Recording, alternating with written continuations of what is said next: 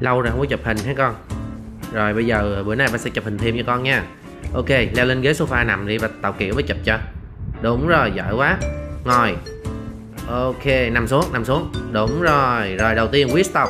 đúng rồi giỏi quá. Chưa chờ xíu để coi lại nha. Uhm, chưa được. Quyết tộc làm lại. Quyết tộc. đúng rồi. Rồi đổi qua. Đứng lên đứng lên. Đứng lên. Tạo cái kiểu nào đó quyến rũ cho ba coi trời ơi cái kiểu gì mà mất nết dữ vậy?